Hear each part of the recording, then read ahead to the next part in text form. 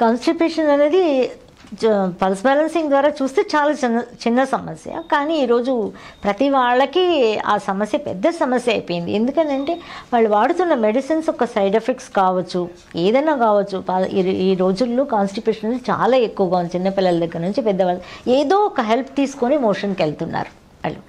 So ఈ large intestine అనేది పని చేయకపోవడం వల్ల మనకి ఈ కాన్స్టిపేషన్ జరుగుతుంది. అంటే పని చేయకపోవడం అని అంటే అది ఏదో ఫెయిల్యూర్ అయిపోవడం కాదు.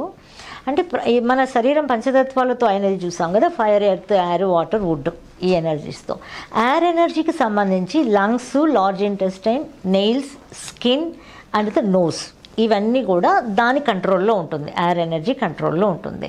సో ఎయిర్ ఎనర్జీ కంట్రోల్లో ఉన్నప్పుడు ఇది ఎయిర్ ఎనర్జీకి అనేది ఒక టీమ్ లీడర్ దాని కింద eight hundred and eighty eight D workers ఉంటారు కదా అదే మన డిజీజెస్ దానిలో లార్జ్ ఇంటెస్టైన్కి సంబంధించి ఫోర్ హండ్రెడ్ అండ్ ఫార్టీ ఫోర్లో ఏదో ఒక్కటి కాన్స్టిపేషన్ చెప్తున్నాం. కానీ ఆ కాన్స్టిపేషన్ అనేది మనకి ఆ రోజు ఆ మోషన్ అనేది మనం వెళ్ళకపోయామనుకో ఆ రోజంతా మనకి ఇంకా అయిపోతుంది అనమాట దేని మీద మనకి కాన్సన్ట్రేషన్ ఉండదు కదా.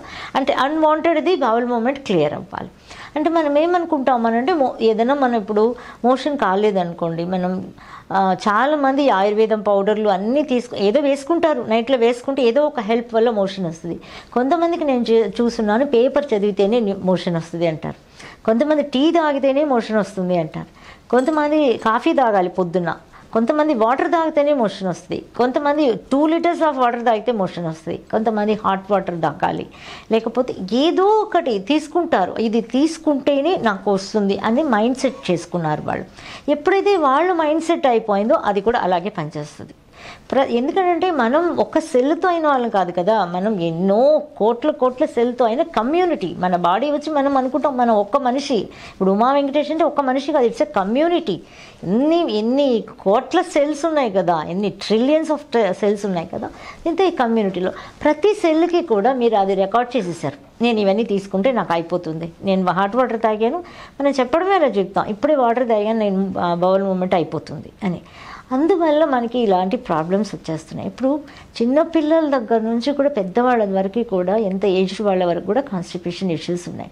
ఈ కాన్స్టిపేషన్ అనేది చిన్న ప్రాబ్లం మనం మనం అనుకోలేం. ఎందుకంటే పార్కిన్సన్స్ రావడానికి కానీ పారాలిసిస్ రావడానికి కానీ ఏ ఎటువంటి జబ్బులు రావడానికి కానీ మెయిన్ రూట్ కాస్ అది అయిపోతుంది కాన్స్టిపేషన్ సో ఇది వచ్చి air element large intestine is related to the air energy కానీ మనకి ఎక్కడి నుంచి వస్తుంది? ఎయిర్ ఎనర్జీ ఎక్కడి నుంచి పుట్టాలి? మనకి ఎర్త్లో నుంచి గాలి రావాలి.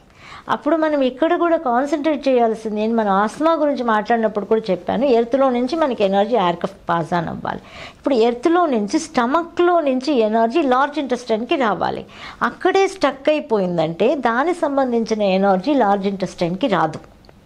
కానీ మనం ఏమనుకుంటాం లార్జ్ ఇంటెస్టైన్ సరిగ్గా లేదు అని అనుకుంటుంటాం. అక్కడి నుంచి ఎనర్జీ ఒకటి పాస్ ఆన్ అవ్వాలి. యూనివర్స్లో నుంచి ఎనర్జీ వెళ్తున్నప్పుడు ఈ లార్జ్ ఇంటెస్టైన్కి ఎనర్జీ అన్నది పాస్ ఆన్ అవ్వాలన్నమాట. ఇప్పుడు మనం ఇది ఈ మలబద్ధకం కాన్స్టిపేషన్ అంటే మలబద్ధకం. మలబద్ధకానికి కూ- మలబద్ధకానికి ఏదో ఒకటి తీసుకొని మనం మోషన్ రిలీవ్ అవుతూ ఉంటాం కదా.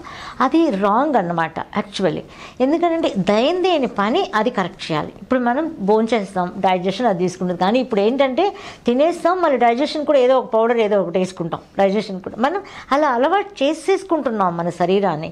అంటే నా ఇప్పుడు హార్ట్కి ఏదో ఒకటి ప్రతిదానికి మనం ఆల్టర్నేట్ పెట్టుకొని దీనికి ఇది మంచిది దానికి అది ఏ దానికి ఏది మంచిది కాదు.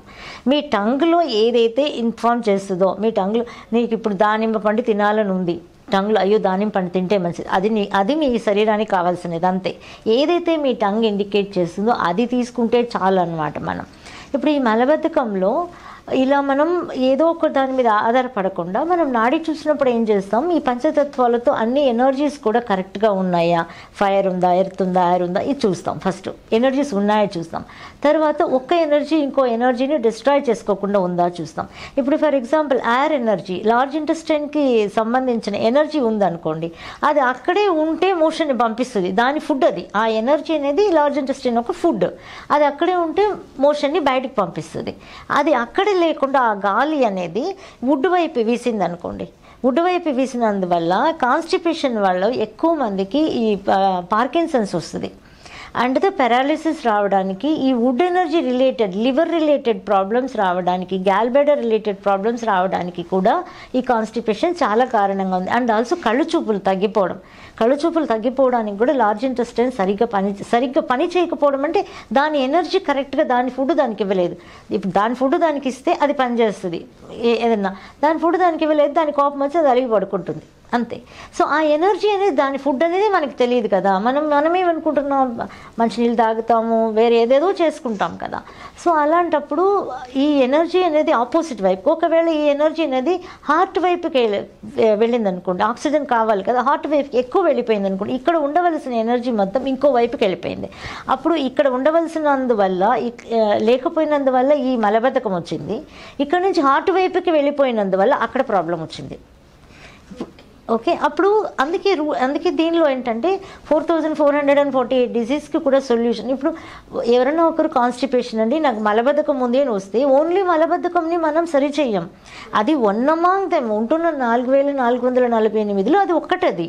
అది సరి చేసుకుంటూ మిగతా అన్నిటినీ ఆటోమేటిక్గా సరి చేసేస్తుంది అదే ఈ మెథడాలజీ. అందుకే మనం దీన్ని ట్రీట్మెంట్ అన్నము. ఇది వచ్చి లైఫ్ స్టైల్ చేంజెస్ అంటాం దీన్ని మనం.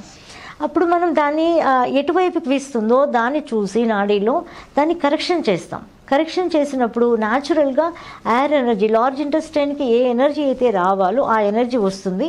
ఏ ఎనర్జీ అయితే వచ్చిందో అది ఆపోజిట్ వేలో వెళ్ళకుండా Um, చెట్లని కానీ ఫైర్ని కానీ వుడ్ని కానీ ఫైర్ని కానీ ఎటువైపుకి వెళ్ళకుండా అది అక్కడే ఉన్నప్పుడు ఆ ఎనర్జీ అనే ఫుడ్ దాని దగ్గర ఉన్నప్పుడు మనం తీసుకుంటున్న ఫుడ్ డైజెస్ట్ అయ్యి అన్వాంటెడ్ వేస్టేజ్ వచ్చి న్యాచురల్గానే వచ్చేస్తాయి అనమాట అంటే ఇంకొకటి ఏం చేయొచ్చు మనం అని అంటే తీసుకునే ఫుడ్లో ఒగరు టేస్ట్ తీసుకోవచ్చు.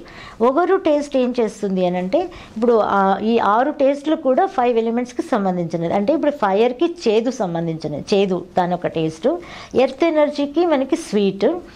ఎయిర్ ఎనర్జీకి కారం ఒగరు ఉంటుంది.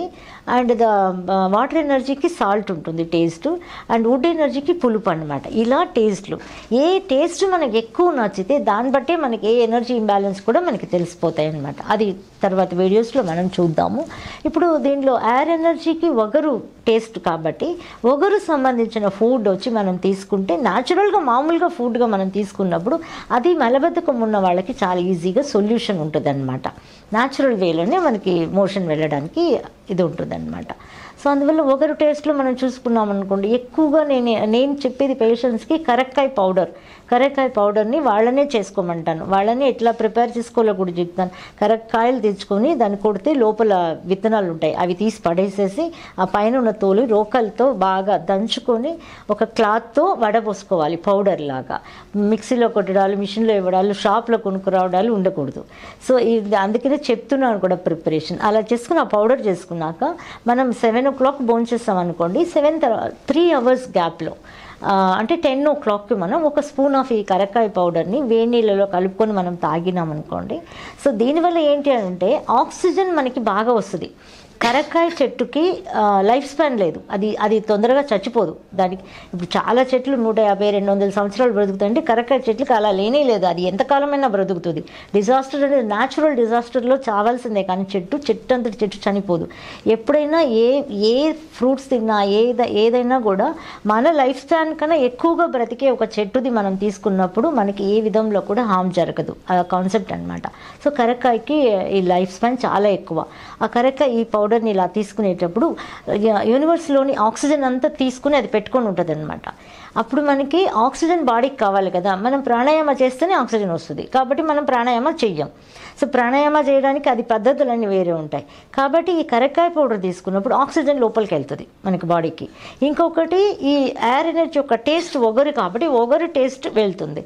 వెళ్తున్నప్పుడు మనకి లంగ్స్ కూడా పనిచేస్తాయి. మనం ఇందాక ఆస్తమాలో మాట్లాడినాం ఒకసారి. ఆస్తమాకు కూడా అది పనిచేస్తుంది. అండ్ హో హోల్ బాడీలో ఆక్సిజన్ డెఫిషియన్సీ లేకుండా మనల్ని కాపాడుతుంది.